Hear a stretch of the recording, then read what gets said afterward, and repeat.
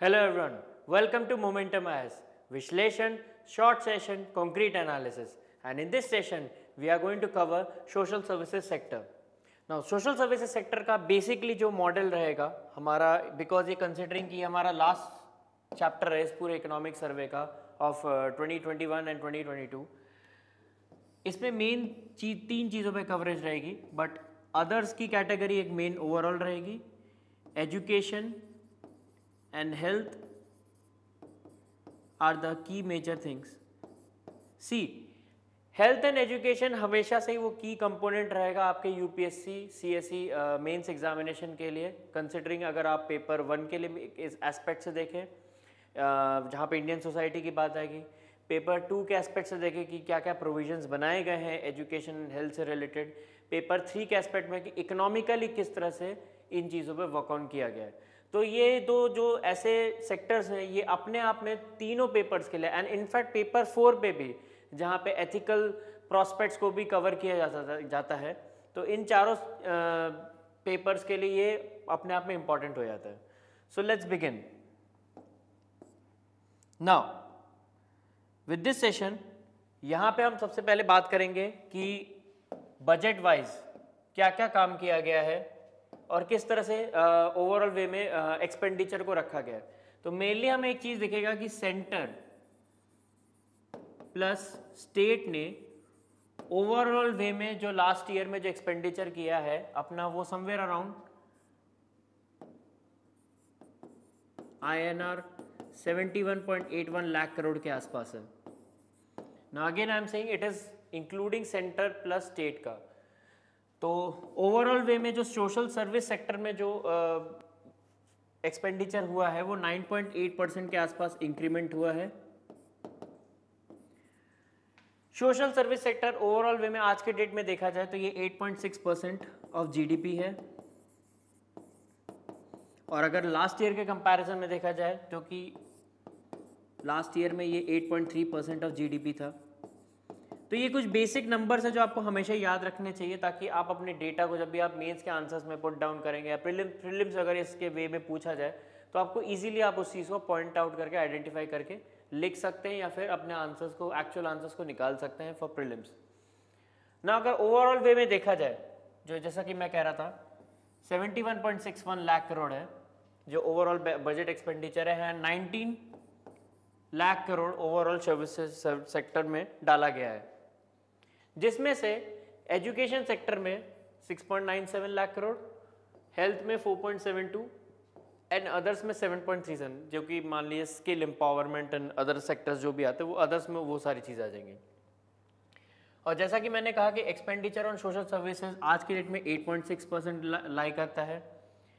Now अगर कभी कल के डेट में ये पूछा जाए कि प्रीलिम्स के क्वेश्चन पर्सपेक्टिव से कि लास्ट फाइव इयर्स का ट्रेंड बताया जाए कि क्या लास्ट फाइव इयर्स में ये यूनिफॉर्मली सोशल सर्विस में एक्सपेंडिचर बढ़ा है? तो ऑब्वियसली नो कहेंगे।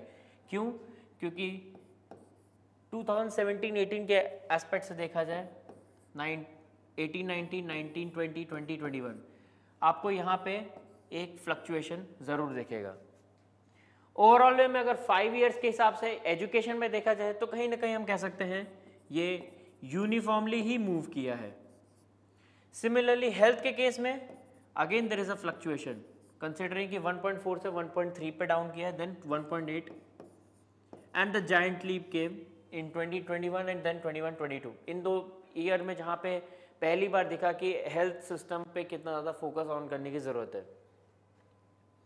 सिमिलरली एक्सपेंडिचर अगर टोटल एक्सपेंडिचर के अकॉर्डिंग देखा जाए कि बजट में कितना एक्सपेंडिचर है एंड उस अकॉर्डिंग एजुकेशन और हेल्थ और उन सब पे देखा जाए तो ओवरऑल वे में देखा जाए तो एजुकेशन का डिक्रीज हुआ है। दैट मीन इसका मतलब ये नहीं कि बजट में ओवरऑल बजट एक्सपेंडिचर भी घटा है, नहीं। बजट एक्सपेंडिचर ओवरऑल वे में तो बढ़ा है साल दर साल बट इट्स जस्ट दैट कि एजुकेशन का वो सब्सटैंशियल इंक्रीमेंट नहीं हुआ, इसलिए उसमें कहीं ना कहीं उसमें डिक्रीमेंट दिखता है। 10.7 से 9.5 में। सिमिलरली हेल्थ के केस में तो ये हमेशा ही बड़ा है लास्ट कुछ ईयर्स के आसपास देखा जाए। तो ये हमेशा ध्यान रखिएगा कि ऐसा नहीं है कि अगर ये डिक्रीज हुआ है दैट मीन्स ये है कि टोटल एक्सपेंडिचर भी कम हुआ है। नो कंसिडरिंग कि परसेंटेज वाइज दिखाना है तो अगर न्यूमरेटर ऊपर कुछ है और डिनोमिनेटर नीचे है, और डिनोमिनेटर में अगर टोटल एक्सपेंडिचर है तो दैट मीन्स डिनोमिनेटर भी अगर इंक्रीज किया और न्यूमरेटर अगर ज़्यादा इंक्रीज नहीं किया तो वो भी कहीं ना कहीं अपने आप में उस रिज़ल्ट को इम्पैक्ट करता है। सो so, ये कुछ चीज़ें हैं।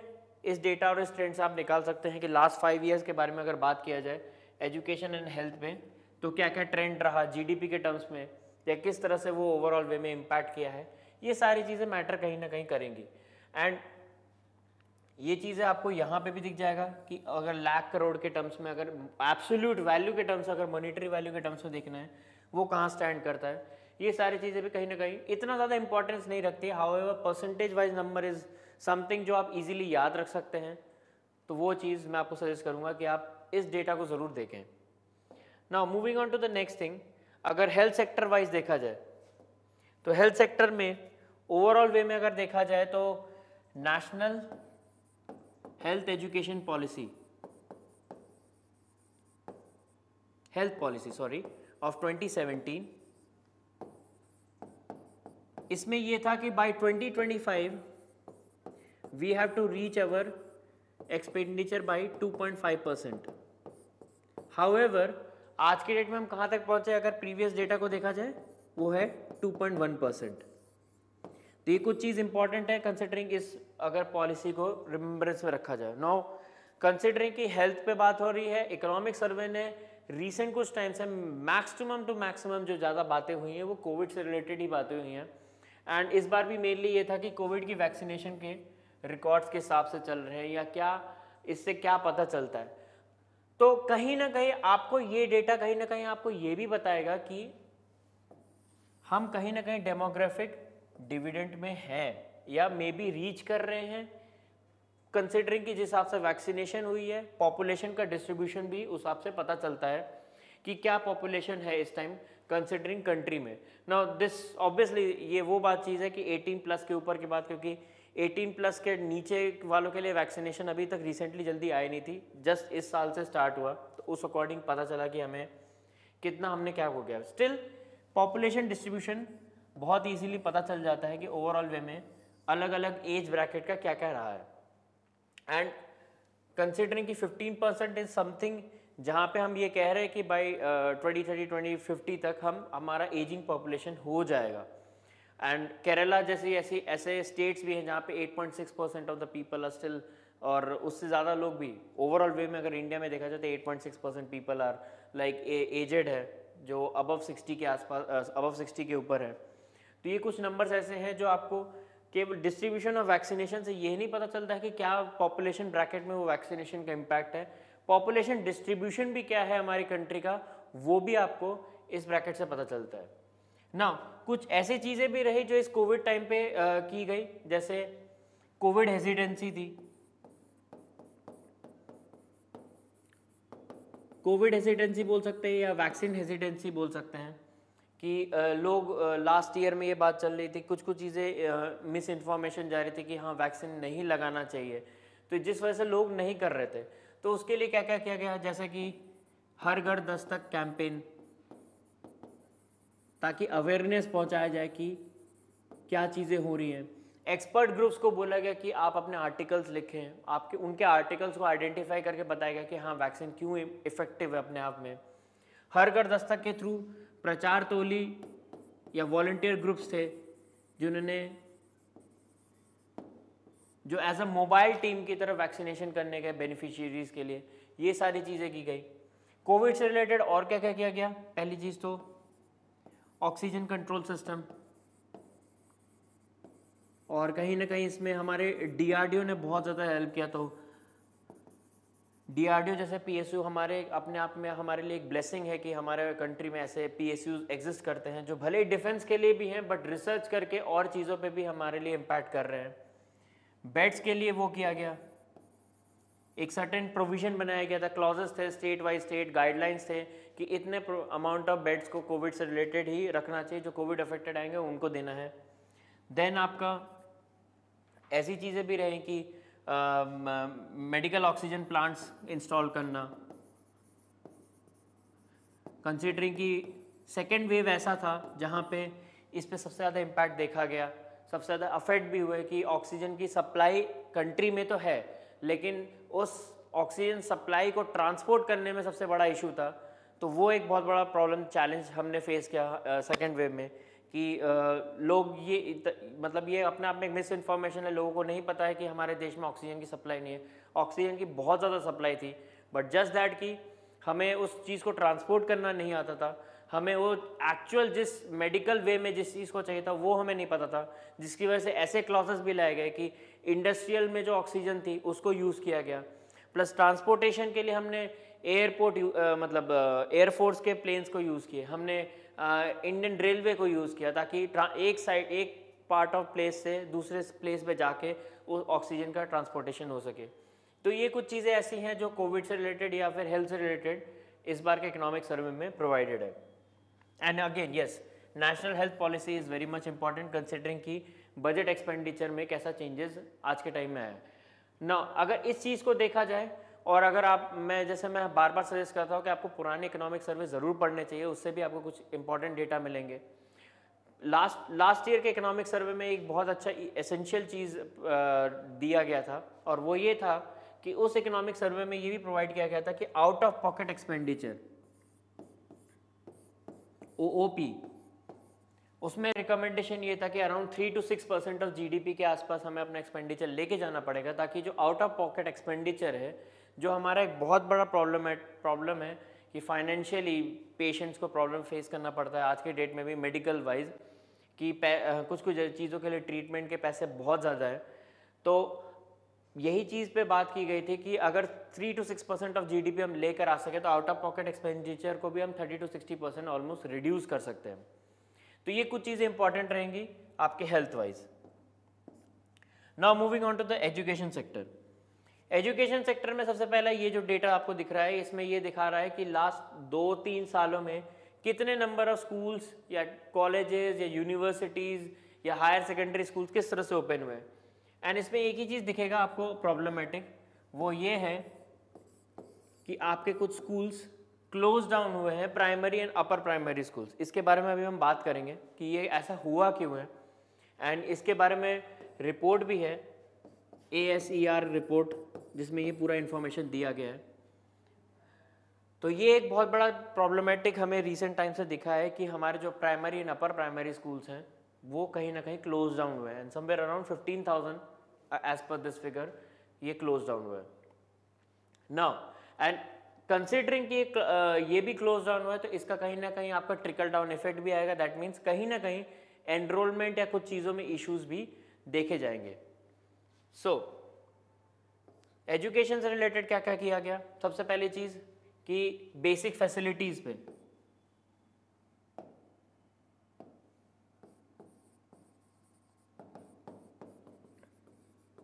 आज की डेट में एजुकेशन से रिलेटेड हम केवल इट्स नॉट ओनली अबाउट कि कंटेंट क्या प्रोवाइड कर रहे हैं नोट्स क्या प्रोवाइड कर रहे हैं बुक्स क्या प्रोवाइड कर रहे हैं मटेरियल क्या प्रोवाइड कर रहे हैं it's not only about that basic facilities में जो चीज़ की गई है कि एनरोलमेंट ज़्यादा हो, ज़्यादा बच्चे पढ़ पाए तो उस पर बेसिक फैसिलिटी में ड्रिंकिंग वाटर को वो किया गया कि ड्रिंकिंग वाटर फैसिलिटी होना चाहिए।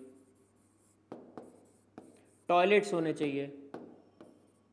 सो so दैट कि गर्ल्स के लिए, खासकर रूरल एरियाज़ में एक बहुत बड़ा टैबू रहा है कि अगर टॉयलेट्स नहीं रहेंगी तो गर्ल्स शायद स्कूल नहीं जाती थी।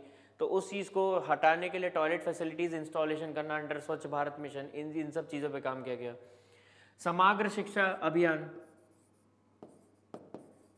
समग्र शिक्षा अभियान के अंतर्गत इसमें क्या क्या, किया, जैसे आज के डेट में इंफॉर्मेशन एंड कम्युनिकेशन टेक्नोलॉजी को यूज़ करके स्मार्ट क्लासरूम बनाए जा रहे हैं। देन आपके वो एजुकेशनल सॉफ्टवेयर भी प्रोवाइड किए जा रहे हैं, जो कि हेल्पफुल होंगे आपके टीचिंग या फिर लर्निंग के लिए। इसके अलावा आपको ये समझना चाहिए कि एजुकेशनल सॉफ्टवेयर की बात है दैट मीन्स ई कंटेंट की भी बात होगी। एंड रिसेंट टाइम से इस पर बहुत ज़्यादा बातचीत हुई कि ई कंटेंट को हम कितना ट्रांसफॉर्म कर सके या ट्रांसलेट कर सके लोकल लैंग्वेजेस में, जैसे खाली ये इंग्लिश या हिंदी में अवेलेबल ना हो। अगर बंगाल में कोई स्टूडेंट पढ़ रहा है तो उसके लिए एक एक बेसिक इंजीनियरिंग से रिलेटेड अगर एजुकेशन है तो उसको बंगाली लैंग्वेज में प्रोवाइड किया जा सके। तमिलनाडु में अगर हो तो तमिलनाडु के हिसाब से वो तमिल लैंग्वेज में प्रोवाइड किया जा सके। तो हायर एजुकेशन या जिस टाइप के भी एजुकेशन लेवल पे बात किया जाए, उस पर ई कंटेंट को हम लोकल लैंग्वेजेस में प्रोवाइड कर सकें, ताकि बेटर लिटरेसी रेट हम ज़्यादा विटनेस कर सकें। एंड लिटरेसी पे ऑलरेडी हमने देखा है कि आज के डेट में कितना लिटरेसी रेट है। तो ये सारे नंबर्स कुछ आप ज़रूर ध्यान में रखना। समग्र शिक्षा अभियान के अलावा एजुकेशन से रिलेटेड हमें और क्या क्या चीज़ों पे दिखता है कि प्रॉब्लम है। सबसे चीज़, पहली चीज़ एक तो प्रॉब्लम इन द सेंस हम ये कह सकते हैं कि पीपल टू टीचर रेशियो यानी कितने स्टूडेंट्स एक टीचर के अंडर पढ़ रहे हैं। तो आज के डेट में प्री प्राइमरी स्कूल या इन पे देखा जाए, प्राइमरी स्कूल्स में। हमें लास्ट सेवन ईयर्स में ये दिखेगा कि ये 34 से 26 आया है। That means it is good अगर pupil to teacher ratio decrease हो रहा है दैट मीन्स कहीं ना कहीं क्वालिटी ऑफ़ एजुकेशन बढ़ेगा। क्योंकि एक टीचर अगर कम स्टूडेंट्स को कम से कम स्टूडेंट्स को अटेंड करेगा तो वो ज़्यादा बेटर वे में उस चीज़ को, उस चीज़ को टीच कर सकता है, उस चीज़ को इम्पार्ट कर सकता है अपने एजुकेशन या फिर लर्निंग को। प्राइमरी में ये समवेयर अराउंड 23 टू 18 पाया गया है। सबसे बेस्ट रिज़ल्ट जो मिले हैं, वो मिले हैं हमारे, हमें सेकेंडरी में। वो है thirty two eighteen that means कहीं ना कहीं अराउंड फोर्टी परसेंट डिक्रीज किया है ये. इसके अलावा आपको हायर सेकेंडरी में अगर बात करें,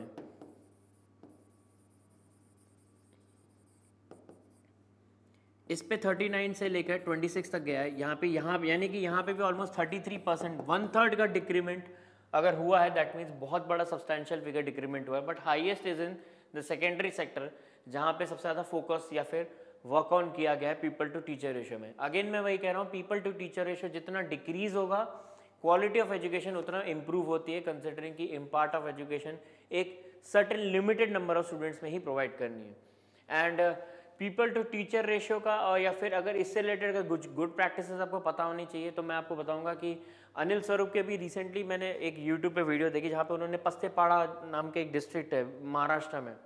जहाँ पे एक एक टीचर स्टूडेंट्स को अपने टैब के थ्रू पढ़ाता था, किस तरह से पढ़ाया है एंड उस एजुकेशन मॉडल को कहाँ कहाँ यूज़ किया गया है, उस चीज़ पे भी आप कुछ कुछ गुड प्रैक्टिस अपने मेन आंसर में देख उस, अपने उस आंसर्स को एनरिच कर सकते हैं for quality of quality education के नाम पे।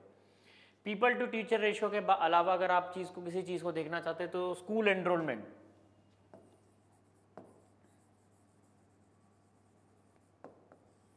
ना स्कूल एनरोलमेंट की अगर बात करें तो लास्ट ईयर 42 लैक्स बच्चे एनरोल्ड हुए हैं, जिसमें से 26 लैक्स आपके वो हैं जो प्राइमरी से हायर सेकेंडरी मतलब सेकेंडरी एजुकेशन में एनरोल्ड हुए हैं एंड 16 लैक्स ऐसे हैं जिन्होंने प्री प्राइमरी स्कूल में एडमिशन या एनरोलमेंट कराई है। तो ये कुछ चीज़ें इंपॉर्टेंट हो जाती है अपने आप में कि ये क्या क्या चीज़ें इस टाइम पे हमारे लेवल पे चल रहा है। इन एडिशन टू दिस अगर ड्रॉप आउट रेट की बात करें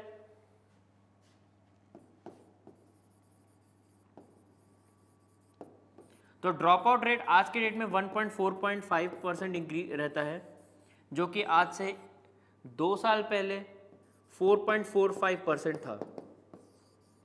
मतलब कितने लोगों ने एडमिशन लेने के बाद या एनरोलमेंट लेने के बाद स्कूल को छोड़ दिया। तो ड्रॉप आउट रेशियो में कहीं ना कहीं डिक्लाइन है। However problem still exist, but वो कहाँ एग्जिस्ट कर रही है, इस पर हम बात करेंगे। इस टेबल से, या फिर लास्ट टेबल पे ही हम जाते हैं।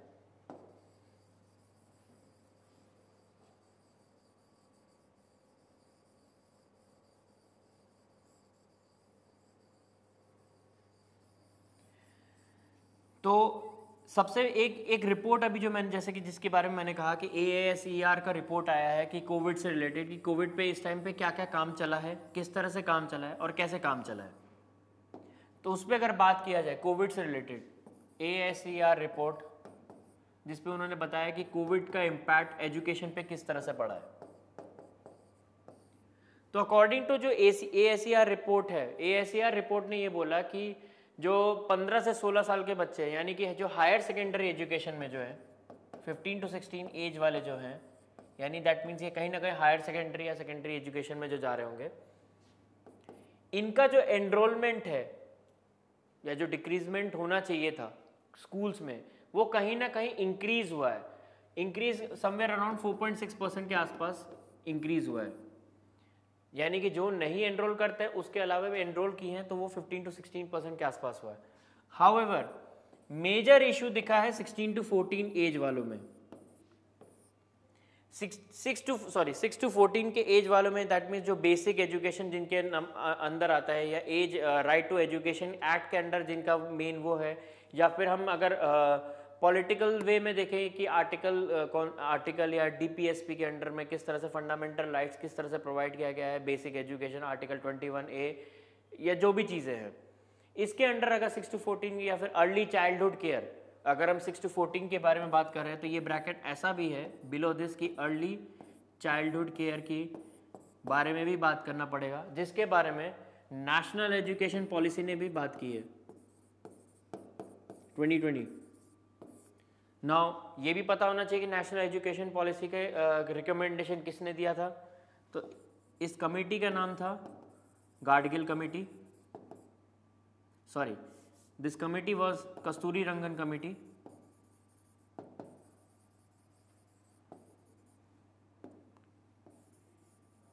जो भी चेयरमैन होता है उसी के नाम पे कमेटी के चेयरमैन का नाम रहता है। तो सिक्स टू फोर्टीन एज के बारे में मैंने क्या क्या चीज़ें बताई? एक, एक तो अर्ली चाइल्डहुड केयर दूसरा चीज़ नेशनल एजुकेशन पॉलिसी और national education policy related Kasturi Rangan.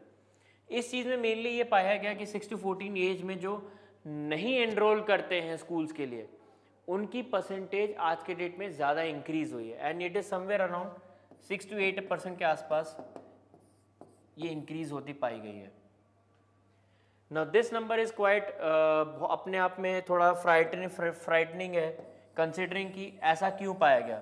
तो ए एस आर एजुकेशन जो ये कोविड इन्होंने निकाला है, इस पर इन्होंने ये भी बताया कि इसका सबसे बहुत बड़ा की रीज़न था, सबसे पहला तो कोविड जब आया कोविड की वजह से डिजिटल मतलब एजुकेशन को डिजिटल फॉर्मेट में लेकर आना पड़ा। डिजिटल फॉर्मेट में अगर लाया जाता है किसी चीज़ को दैट मीन्स आपको आपके पास वो डिजिटल इंफ्रास्ट्रक्चर होना चाहिए ताकि आप बच्चों को पढ़ा सके। कंसिडरिंग कि स्मार्टफोन्स की जो एक्सेसिबिलिटी थी, आज के डेट में जो है, वो 68 परसेंट के आसपास बैठती है। हमारे कंट्री में, जो आज के आज से तीन चार साल पहले वो 36 टू 37 परसेंट था। दैट मीन्स कहीं ना कहीं एक स्मार्टफ़ोन रिवोल्यूशन तो आया है, लेकिन अभी भी वो डिजिटल डिवाइड एग्जिस्ट करता है। डिजिटल डिवाइड से रिलेटेड हमने लास्ट टाइम भी बात किया था लास्ट सेशन में कि आज के डेट में जो इंटरनेट का सब्सक्रिप्शन है, वो 55 परसेंट अर्बन एरियाज़ के पास है 45 परसेंट रूरल एरियाज़ के पास है। But it is just the population division या फिर रूरल अर्बन डिविजन बताया गया। But digital divide still exist in the country and it is in much larger scale तो डिजिटल डिवाइड के लिए भी आपको ये पढ़ना चाहिए national digital communication policy of 2018 which is very much important तो ये आपको हेल्प आउट भी करेगा कि एजुकेशन सिस्टम को समझने के लिए उससे रिलेटेड अगर कल के दिन पे अगर मेंस क्वेश्चन में ये पूछा जाए कि आपके अपने ओपिनियन क्या होंगे तो उससे रिलेटेड आप कुछ बता सकते हैं। ना स्मार्टफ़ोन का एक बहुत बड़ा रीज़न बताया गया कि मतलब डिजिटल डिवाइड एग्जिस्ट करता है। दूसरा चीज़ बताया गया कि जो प्राइवेट स्कूल्स हैं, ये क्लोज डाउन किए प्राइवेट स्कूल्स का क्लोज डाउन या फिर इसका डिक्रीमेंट एक तो क्या हो गया, क्यों हुआ है? सबसे पहली चीज़ प्राइवेट स्कूल्स का क्लोज डाउन क्यों हुआ? पहली चीज़, उन प्राइवेट स्कूल का क्लोज डाउन हुआ जो लो कॉस्ट में चलते थे। यानी कि जहाँ पे प्रॉफिट ज़्यादा नहीं था, कम पैसा लेते थे। रूरल एरिया में तो वो ज़्यादा पैसे भी नहीं लेंगे प्राइवेट स्कूल्स में मतलब बच्चों से। तो वो लो कॉस्ट वाले थे, उन, उनको अपने आप कोविड के टाइम में क्लोज डाउन करना पड़ा। दूसरा चीज़ था फाइनेंशियल डिस्ट्रेस ऑफ़ पेरेंट्स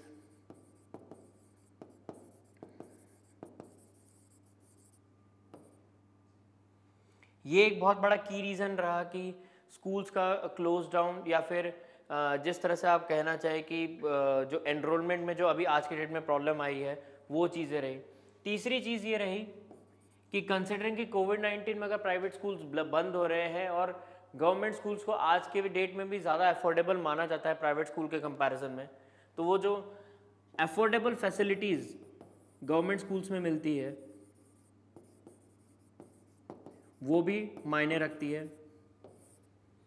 तो ये कुछ रीजंस रहे जो इस और जो आपको पता होना चाहिए एजुकेशन से रिलेटेड आपको कोविड नाइन्टीन से रिलेटेड इसके अलावा आपको और क्या पता होना चाहिए कि कोविड नाइन्टीन या इस टाइम पे डिजी एजुकेशन को डिजिटल लाने के लिए क्या क्या प्रयास किए गए हैं सरकार की तरफ़ से?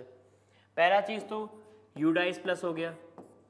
यानी unified district information system for education plus ये एक ऐसा अपने आप में डेटाबेस है कि कितने स्कूल्स हैं, ये सारी चीज़ आपको बता देगा। अगर आप इसकी वेबसाइट पे जाए, आपको आज के डेट में भी सारी इन्फॉर्मेशन मिल जाएँगी कितने प्राइमरी स्कूल्स हैं, या स्कूल्स में कितने बच्चे एडमिटेड हैं हायर सेकेंडरी में कितने हैं सेकेंडरी में कितने ये ओवरऑल वे में पूरा डेटाबेस बता सकता है। Next is NDR NDR architecture mainly इस चीज़ पे बेस्ड ऑन है कि इट्स नॉट ओनली अबाउट की प्रोवाइडिंग एजुकेशन और providing learning it's also about कि एजुकेशन से रिलेटेड क्या क्या प्लानिंग करनी चाहिए गवर्नेंस किस तरह से होना चाहिए digitally district wise state wise उस चीज़ पे भी एनडीआर आर्किटेक्चर काम करता है। तो ये अपने आप में बहुत बड़ा इंपॉर्टेंट वो है। ई विद्यांजलि हो गया, या दीक्षा हो गया ये कुछ ऐसे अपने आप में पोर्टल्स है जहाँ पे आपको ऑनलाइन एजुकेशन के लिए वो प्रोत्साहित करते हैं कि आपको इजीली अफोर्डेबल वे में आपको आ, आपको मटेरियल्स प्रोवाइड हो सके। इन सब चीज़ों पे बात होती है। प्लस हमने जैसे बात किया कि समग्र शिक्षा अभियान यानी एस एस उस पर भी हमने देखा है कि स्कूल्स को किस तरह से आईसीटी टेक्नोलॉजी के थ्रू मतलब smart classroom labs educational software ये सारी चीज़ें प्रोवाइड की जाती हैं। Now moving on to the next एक और चीज़ मैं बताना भूल गया लास्ट वाले उसमें, कि ये जो आपका कोविड नाइन्टीन में जो सिक्स टू फोर्टीन का जो एज था, इसमें सबसे ज़्यादा प्रॉब्लमेटिक जो मेन जो एज ब्रैकेट था, वो था सॉरी वो था सेवन टू टेन का एज एंड जो डिक्लाइन ऑफ़ एनरोलमेंट हुआ है, वो बॉयज़ में ज़्यादा हुआ है in terms in comparison to girl तो फिगर कहने के लिए तो ये होगा कि हाँ जेंडर इक्वालिटी ला रहा है, लेकिन ओवरऑल वे में देखा जाए तो अपने आप में ये फिगर सही अच्छा भी नहीं है। Now moving on to the our higher education category में हायर एजुकेशन कैटेगरी में क्या क्या क्या किया गया है? सबसे पहले चीज़ तो नेशनल एजुकेशन पॉलिसी के तहत आपका एक तो अकेडमिक क्रेडिट बैंक बनाया गया है। मान लीजिए कि आपने कुछ क्रेडिट अर्न किया एंड बीच में आपको अपना कॉलेज छोड़ना पड़ रहा है, या फिर कुछ रीज़न के कारणवश आप नहीं कर रहे हैं, उस चीज़ को कंटिन्यू नहीं कर रहे हैं, बाद में आके करते हैं तो आपके वो क्रेडिट आपके एक सॉर्ट ऑफ़ अकेडमिक बैंक में स्टोर्ड रहेंगे एंड जब वो वापस आके आप उसको स्टार्ट करेंगे तो वो वहीं से ही रिस्टोर होकर स्टार्ट होना स्टार्ट हो जाएगा। ये नहीं होगा कि रीसेट करके आपको ज़ीरो से स्टार्ट करना है या स्क्रैच से स्टार्ट करना है। ये ऐसी चीज़ें नहीं होने वाली है। देन आपका नेट्स रहेगा, यानी नेशनल अप्रेंटिसशिप ट्रेनिंग स्कीम इसके अंडर में मतलब ट्रेनिंग प्रोवाइड किया जाएगा वोकेशनल ट्रेनिंग फॉर एआई होगा। आपका ड्रोन टेक्नोलॉजी पे है। सिमिलरली बहुत सारे ऐसे स्ट्रीम्स लिए गए हैं, जिसके तहत इस चीज़ पे काम किया गया एंड आज के डेट में हायर एजुकेशन को और ज़्यादा बेटर या फिर इफ़ेक्टिव बनाने की कोशिश की गई है। ग्रॉस एनरोलमेंट रेशो इस चीज़ में मेनली यहाँ पे ये बात हुई है कि enrolment wise last few years में क्या हुआ है कि गर्ल्स के एनरोलमेंट ज़्यादा धीरे धीरे इंक्रीज दिखता है। उसमें ग्रोथ ज़्यादा हुआ है फास्टर ग्रोथ हुआ है इन कंपैरिजन टू बॉयज़ जो कि हम यहाँ पे देखें। नंबर वाइज फीमेल का it is somewhere around 27.3 percent male का 26.9 एंड ओवरऑल वे में 27.1 दैट मीन्स कहीं ना कहीं अगर इस ओवरऑल फिगर को देखें या एवरेज निकालने की कोशिश की जाए, जो कि 27.1 है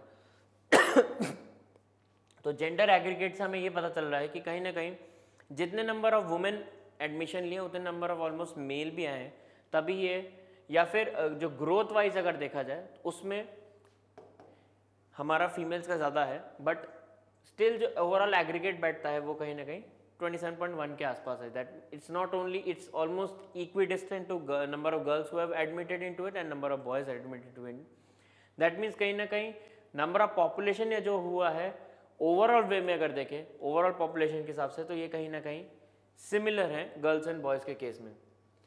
हालाँकि अगेन वही बात में जो मैं कह रहा था ग्रोथ जो है अगर आप 26.4 से 27.3 देखें तो ये बहुत ज़्यादा बड़ा ग्रोथ है। 26.3 से 26.9 ग्रोथ है सब्सटैंशियल ग्रोथ है but comparison to this this growth is higher again आप यहाँ पे देखें 26.3 था 26.3 रह गया, यानी कांस्टेंट रहा। 25.4 से 26.4 ये अपने आप में ये नंबर्स बता रही हैं कि किस तरह से आज के डेट में जो एनरोलमेंट है girls and women's girls and boys का वो फीमेल के साइड में ज़्यादा डिफरेंट दिखता है in comparison to males so all these things which you have to remember regarding your economic survey in especially for health and education with this we uh, we are ending this session and uh, we we will be having one more session on social service and we will be uh, completely wrapping the entire and economic service uh, course of this uh, 2021 and uh, 21 22 ka and uh, for more videos you should uh, check out our youtube channel. And uh, our mm, for more information i should tell you that our psr optional course is it is starting from 23rd august.